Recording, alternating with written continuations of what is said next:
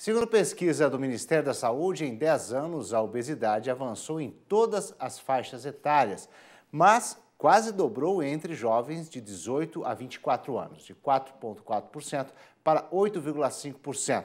Embora a prevalência ainda seja maior entre pessoas com menor escolaridade, a obesidade tem avançado também entre aqueles com maior escolaridade. E para falar sobre esse assunto, e o impacto que uma boa alimentação tem na vida das pessoas para a prevenção de doenças, recebemos aqui no nosso estúdio o subcoordenador da área de nutrição e alimentação do Ministério da Saúde, doutor Eduardo Nilson. Muito bom dia, seja bem-vindo. Bom dia, obrigado. Então, uma boa alimentação é sinônimo de mais saúde e qualidade de vida. Mas, pelos dados apresentados pelo Ministério da Saúde, a alimentação do brasileiro não anda muito boa. Né? Nos dê aí um panorama, então, do avanço da obesidade no Brasil, doutor? Ah, o avanço da obesidade, na verdade, é uma é grande prioridade do governo brasileiro, mas é um problema mundial. Quase todos os países estão enfrentando isso atualmente, independente até da questão da renda.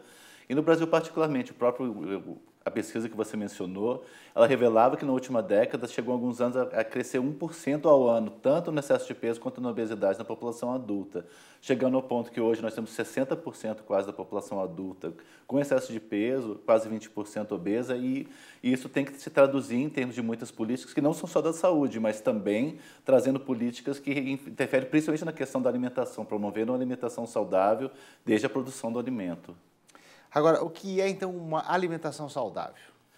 Em resumo, é uma alimentação diversificada, mas principalmente baseada em alimentos é, in natura ou chamados minimamente processados. São aqueles realmente que vêm da natureza do jeito. Então, a questão da produção agrícola é essencial nesse sentido, porque nosso guia alimentar para a população brasileira preconiza como primeira regra que a base da alimentação deve ser os dos alimentos in natura minimamente processados e contemplando todos os grupos alimentares. Aí, pensando desde frutas, verduras e legumes, que são tradicionais, mas trazendo grãos, trazendo as carnes, ovos, cereais, todos nesse mesmo componente, equilibrados e, muito importante, de acordo com a própria tradição cultural, regional que tem. O Brasil é um país muito rico em termos de cultura alimentar e cada região tem aspectos daquela alimentação que pode ser construída de forma saudável e baseada nos alimentos locais, produzidos localmente, inclusive. Essas peculiaridades são importantes, né? porque você aproveita isso e não tira ele da realidade, né?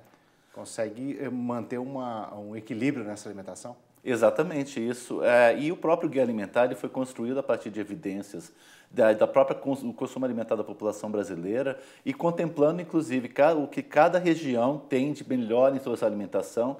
Então, o Brasil não está num cenário tão ruim, se posso dizer, como países como Estados Unidos, Canadá, muitos países europeus, em que boa parte da alimentação natural foi substituída por alimentos industrializados, ou como o guia trata, ultraprocessados, que são formulações que às vezes até imitam um alimento, né? em vez de um, um suco de uma fruta ou a própria fruta, é um pó misturado com água que lembra aquela fruta. E eles têm uma substituição que chega a 70% da dieta é desses alimentos. Então, no nosso caso, 60%, 70% são dos alimentos in natura. Nós temos esse hábito de preparar os alimentos ainda, de comer no restaurante, por exemplo, na hora do almoço, em vez de comer o sanduíche, apesar de ser assim, ao longo do tempo vem substituindo isso, então tudo isso tem que ser construído mesmo. E o guia foi feito dessa maneira, de pegar cada realidade regional, pegando no Nordeste, a tapioca, o cuscuz, no Norte, com todas aquelas frutas típicas, também alimentos típicos, até o Sul, Sudeste, Centro-Oeste, todos eles têm alimentos típicos que foram construídos nessa cultura, nessa mistura de culturas do Brasil e também trazendo alimentação saudável. Então não são modelos teóricos, são modelos práticos de parte da população que de fato come como se deve comer, que é comida de verdade. Agora, o excesso de peso é um problema hoje de saúde pública? Sem dúvida é, pela própria, como eu falei da dimensão de 60% da população já ter excesso de peso, isso tem inclusive uma repercussão muito grande em termos do próprio serviço de saúde, porque a evolução com ganho de peso permanente pode chegar ao nível, inclusive, da obesidade, e mesmo no excesso de peso, pode vir o que nós chamamos de comorbidade, são as doenças que vêm junto, porque a obesidade é uma doença crônica, mas ela também é fator de risco para outras doenças crônicas, como diabetes, como hipertensão, como outras todas, que vão levar, inclusive, ao aumento da morte, a ponto que hoje 70% das mortes no Brasil são por doenças crônicas. E grande parte dessas tem um efeito direto de fatores de risco que a própria alimentação, mas aí somada a questão da, da falta de atividade física, a questão do, do consumo excessivo de álcool e, por fim, do próprio tabagismo também, mas em que o Brasil também é uma referência internacional porque conseguiu reduzir muito. Agora, qual a diferença entre sobrepeso e obesidade? São pontos de corte, na verdade. É que, como se fosse graus numa escala, que sobrepeso é, seria o IMC, que é o nosso é o índice de massa corporal, é o cálculo que é feito uma relação de peso e altura da pessoa para ver o peso adequado para aquela altura. Quanto maior a pessoa, naturalmente o peso que ela vai poder ter é maior. Mas aí você calcula esse dado, então são pontos de corte de, de diferença. Quando você pega acima de 25, o IMC, você já entra numa escala de sobrepeso, aí acima de 30 é obesidade. Destacando que a gente fala sempre tem uma confusão de sobrepeso e excesso de peso, que sobrepeso, na verdade, é o de 25 a 30 no IMC, e excesso de peso ele soma o sobrepeso com a obesidade. Então, parece ele, ele pega todo, esse, todo mundo que está acima do peso, independente de ser um pouco ou, no caso mais extremo, como a obesidade. Agora, quais os males que o sobrepeso e a obesidade podem causar? Como eu dizia, ele, ele vai trazer problemas por si só em, em termos de morbidades e comorbidades, mas aí, como eu falei, dessas doenças, o excesso de peso está associado muito ao desenvolvimento de outras doenças que vão vir juntos, como, como a questão da, da hipertensão arterial, diabetes, problemas, é, chamadas de dislipidemia, são desbalanços na questão das, das, próprias gorduras no sangue, do colesterol e tudo mais. Então, é muito importante tratá-la como parte de um conjunto, inclusive, e a alimentação está muito no centro disso. A pesquisa também aponta para um alto índice de obesidade em crianças. Sabemos que as escolas públicas né, de todo o país têm disponível nas lanchonetes refrigerantes, frituras, comidas industrializadas. O que o Ministério da Saúde, então, tem feito em parceria com o MEC para melhorar a alimentação nas escolas? Isso já vem acontecendo.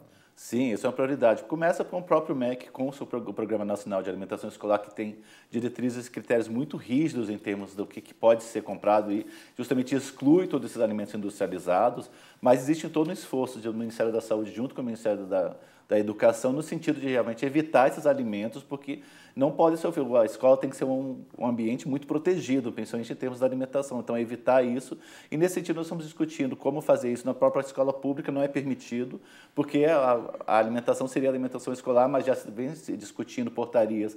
Porque às vezes existe uma cantina, apesar de ter a merenda, tem a cantina também, e tem nos próprios arredores da escola, pode ter também a venda desses tipos de alimentos para tentar regular isso, mas ao mesmo tempo discussões com o próprio setor privado, porque a gente tem parte da população também, das crianças que estão em escolas particulares, então nós já temos desenvolvido um projeto de cantinas saudáveis com o Ministério, com a, a, a, Federação de Escolas Particulares no Brasil, por exemplo, já nesse sentido de ter é, essa a oferta de alimentos saudáveis em vez desses outros alimentos, mas também a gente espera no futuro evoluir para uma questão de regulação de fato, como tem muitas regulações nível estadual e nível municipal que de fato proíbem esse tipo de alimento, que a oferta de alimentos saudáveis deve ser prioritária nas escolas.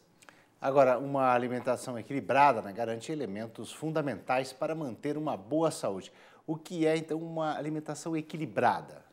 Equilibrada é baseada justamente na sua tradição cultural, nessa diversidade de grupos alimentares, mas sempre lembrando que a, a, a, base da alimentação são alimentos naturais, são alimentos in natura, são alimentos minimamente processados e evitando todo, produto, tipo de produto industrializado. É claro, nesse meio tem o que nós chamamos de, de é, alimentos processados, que são, fazem parte, inclusive, das preparações culinárias e tudo mais, o próprio queijo, e outros entram assim. Então, eles têm que ser usados com moderação e lembrando sempre que numa preparação culinária nós temos que atenção, ter atenção a outros ingredientes que também estão relacionados a riscos de doenças crônicas. É o sal, que é o açúcar, que são as gorduras, que são importantes na preparação, mas têm que ser usados com moderação, porque o brasileiro consome sal em excesso, consome açúcar em excesso e gorduras em excesso também. Agora, hábitos alimentares incorretos né, a, a longo prazo uh, levam ao desequilíbrio e o senhor pode nos apontar quais esses principais desequilíbrios? Os principais são, vimos reforçando a questão do excesso de peso, obesidade e doenças crônicas associadas à alimentação, como hipertensão, diabetes. E é muito importante ressaltar, como você falou bem no início da entrevista, que isso, a, a alimentação inadequada tem começando cada vez mais precocemente e isso vem também tornando mais precoce o desenvolvimento de doenças que não são características nem de crianças nem adolescentes. Então, nós já temos o crescimento de diabetes entre crianças, de hipertensão entre crianças e do próprio excesso de peso e obesidade, e isso vai predispor, inclusive, possivelmente uma mortalidade ainda mais precoce. E essas mortes são evitáveis, esse adoecimento é evitável com base em hábitos saudáveis, incluindo a própria alimentação. No caso da, da hipertensão, por exemplo, o que, que se indica? Mesmo sendo, ah, tendo um fator genético, uhum. mas a questão da alimentação pode ajudar? Com certeza. O fator genético ele só se manifesta num, num, contexto favorável que vai incluir a própria alimentação, a questão da atividade física, o peso saudável. É claro que tem uma questão central na questão da hipertensão, que é o consumo excessivo de sal ou sódio, porque o sódio que na alimentação ele não vem só do sal, ele vem de vários é, outros aditivos, inclusive, principalmente os utilizados em alimentos industrializados, então tem que ser reduzido isso. Isso é muito importante, porque no Brasil, no Brasil, por exemplo, se consome 12 gramas em média de sal por dia, quando preconizado pela Organização Mundial da Saúde é no máximo 5 gramas. Então é um longo caminho a percorrer e deve-se prestar atenção a todas as fontes na dieta, porque a fonte não é só o alimento industrializado, que é muito importante, o Ministério tem uma ação junto com as indústrias para reduzir esse nível de sódio, mas também muita atenção no sal que é usado, seja na preparação dos alimentos e seja no próprio consumo. Então sempre experimentar o alimento antes, seja para açúcar, seja para sal. E, ó, Zé, eu preciso de sal, mas tente diminuir gradativamente, porque uma dieta com menos sal é mais saudável. O sal é necessário, claro, para a dieta, mas estamos muito acima do necessário e, por isso, grandes prevalências de hipertensão. E a hipertensão é um fator de risco muito grande para a doença cardiovascular. Então, isso é muito importante, que causa mortes precoces na população. Agora, o sedentarismo, né, falta de exercícios físicos, aliado à má alimentação, tem sido o, os principais vilões aí para o aumento da obesidade? A obesidade é multifatorial e, sem dúvida, no centro dessa, dessa questão está a alimentação e também está o sedentarismo. E, então, nós temos que estimular em vários, em todos os grupos etários. Nós temos que começar a inatividade física, está mesmo entre crianças, muitas vezes por, por questões de eletrônicos, por questão, existem questões conjunturais também importantes que devem ser consideradas. O próprio ambiente escolar é importante, mas o ambiente da própria cidade também precisa adaptar a isso. E por isso eu falar, a gente fala sempre que é uma repercussão, é um preço que é pago muito pela saúde, mas a, a solução está no todo, está na produção de alimentos saudáveis, que vem na agricultura estimulando essa diversidade alimentar e valorizando aquele que é a alimentação local, principalmente, mas trazendo tudo aquilo que vem numa forma de vida saudável, que inclui a questão de atividade física e uma cidade que propicie isso, não só nas ruas, mas a questão da própria das praças, outros ambientes públicos, nosso papel, inclusive, como cidadãos, como familiares, estimulando que crianças, que adolescentes e nós mesmos tomemos essas atitudes saudáveis em relação à atividade física. Agora, para encerrar, no geral, então, o brasileiro não tem o hábito de uma boa alimentação. Quais as dicas, então, para uma alimentação saudável?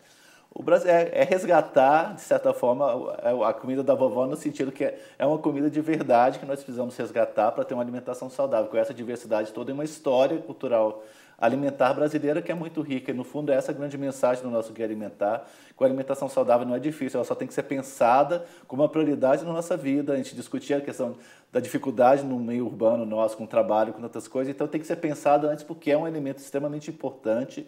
E nós planejando isso, nós conseguimos levar isso e pensar, inclusive, naquelas influências externas, seja do porque o que nós compramos, o que nós consumimos, é a escolha de um sistema alimentar, inclusive. Se eu estou escolhendo um alimento industrializado, eu estou escolhendo todo aquele modo de produção que tem por trás. E se eu escolho uma fruta, uma verdura que vem da agricultura orgânica, eu estou privilegiando um sistema que é muito mais saudável e mais, mais sustentável, mas também socialmente justo, que é isso que nós queremos construir no todo, que nós somos parte disso, nossas escolhas também influenciam. Nós agradecemos então ao subcoordenador da área de nutrição e alimentação do Ministério da Saúde, doutor Eduardo Nilson. Muito obrigado pela participação. Tenha um bom dia. Obrigado, bom dia.